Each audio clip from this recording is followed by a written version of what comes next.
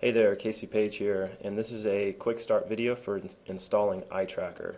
So the first thing you'll want to do is access the setup guide or the instructions that we provide. And the first step in installing iTracker is to provide your Infusionsoft API key. I've already done that, so I can go to the next step. Uh, the second step is you have to create seven custom fields. We provide you the name of those custom fields, and they are case sensitive. It's best if you just use the link or the button that we provide you to create the fields for you, or you can do that manually, and there's a separate video on that. The third step is to either add the WordPress plugin that we provide you, or if you're not using WordPress, you'll need to grab the iTracker 360 JavaScript snippet and embed that on every page of your website. Uh, it's recommended you do it on every page. If you're using WordPress, you can just download the WordPress plugin and there's instructions on how to install that. But once you do install the WordPress plugin, you'll have to go to settings and then paste in your license key. Your license key is found in the top right corner here. You can just copy and paste that. Uh, step four is to add seven hidden fields to your web form in Infusionsoft. And to let you know how that works, I have a test page on my WordPress site. This is just a basic form. There's nothing special about it. If I look at the source code of that page in WordPress, it's just a form. There's no hidden fields or anything like that. It is posting to Infusionsoft, and this is an Infusionsoft form. So that's on my WordPress site. That's the form here. And so what you'll have to do is log into Infusionsoft and find the form. This form has, happens to be in this campaign. So if I edit this form, all it has is first name and email. You'll have to add these seven fields that we provide you in the uh, setup guide. Uh, so GA source is one of the fields and it's not listed here, so I'm just going to go through adding that. So just click field snippets, drag a hidden field over, and then find the field that you need. GA source is the one that I need to add. And so I have GA source, medium term, campaign, content, refer URL, and IP address.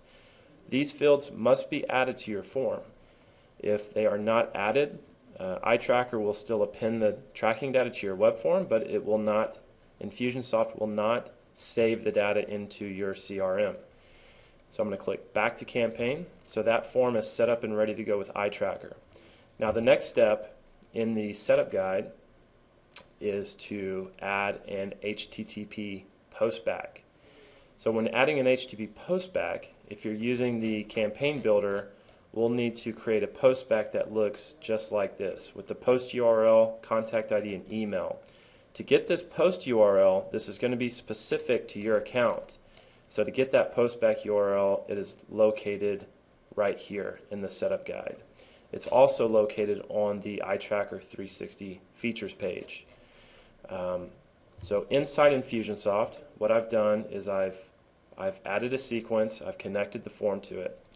So inside the sequence, I added a process called send HTTP post. I drug that here and I set up the HTTP post with the post URL from the member section and then the contact ID and email must be added. So I set that as ready to go. And to set these fields, all you have to do is just click merge. And in this ca case, it's the most common, it's email. Um, you can test this, and I like to go ahead and send a test just to make sure that this does work. So that was sent successfully, so we're good there. If we hit back, everything is ready to go for the Infusionsoft side of things. We've added the hidden fields into the form and we've also set up the HTTP postback. All we have to do is publish this. We don't have to grab any of the HTML code, any of the hidden fields or anything like that.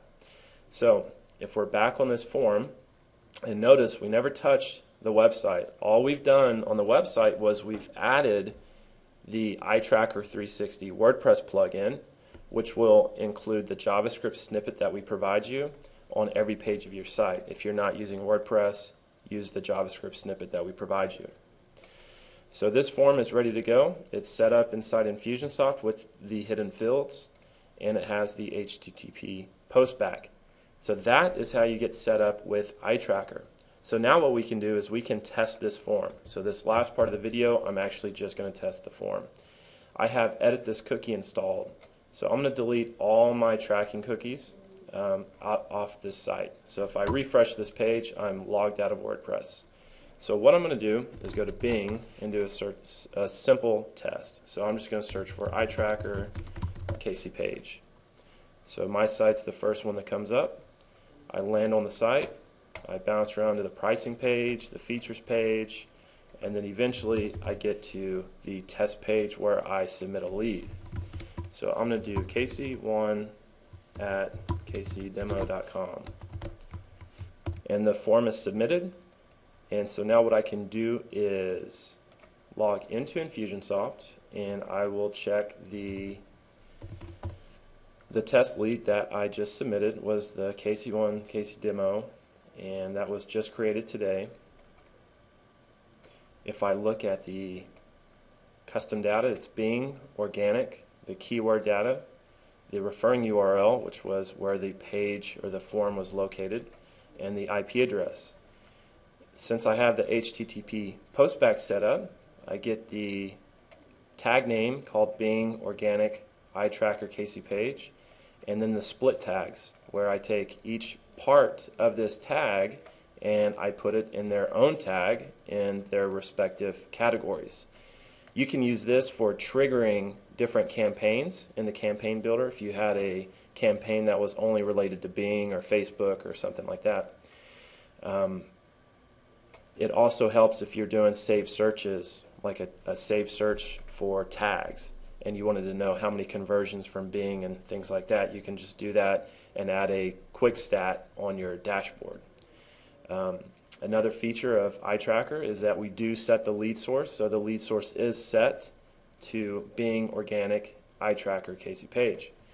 Uh, there is also a address field where we do set the address of the person that just submitted the lead and we use the IP address to find that and we call that our GeoIP tracking feature.